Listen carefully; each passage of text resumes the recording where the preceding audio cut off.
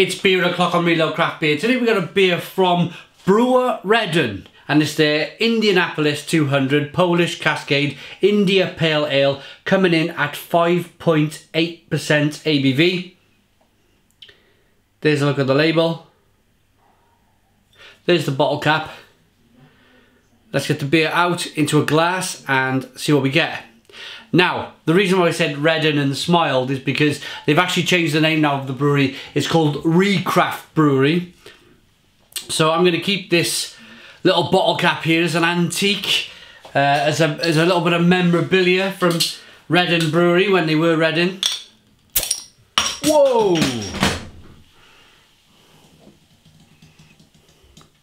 Bit of a crazy opening on that beer. Lots of carbonation. Perhaps it was a good job they changed over to Recraft. Perhaps Recraft don't make beers which explode all over your kitchen.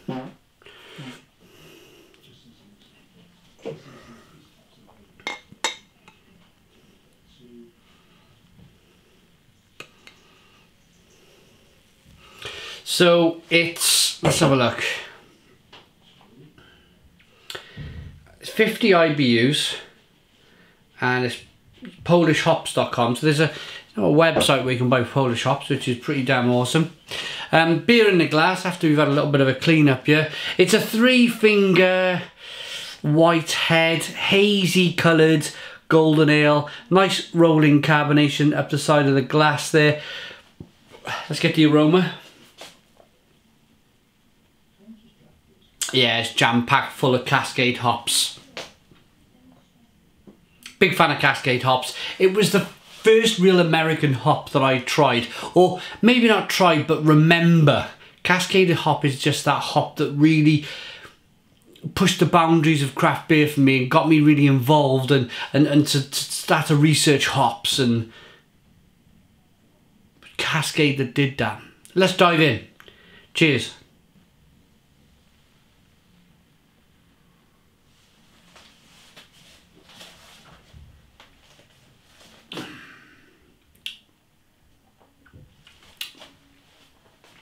Lovely. It's not one of the... It's very flavoursome, this hop. It's...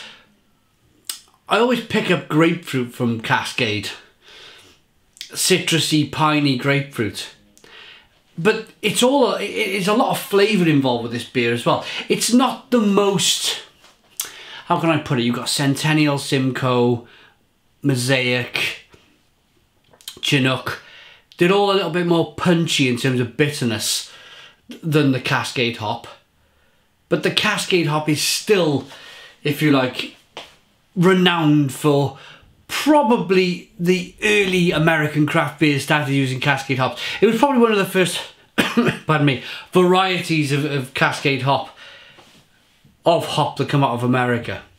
We'll get there in the end.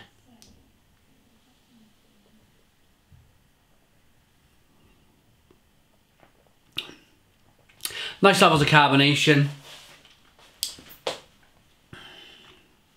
Malty, biscuity, piney, grapefruity. Very drinkable beer. And have a look at this. It was a gassy little number, wasn't it? Look at that. It's climbing. You can see it there, climbing up the glass there. That bottle.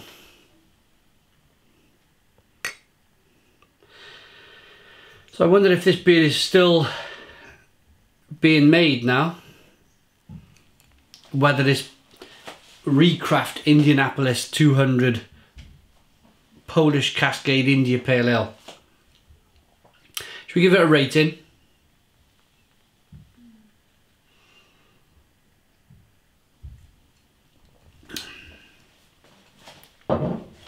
It's really tasty, really tasty, full-bodied, drinkable, citrusy, hoppy, prickly IPA.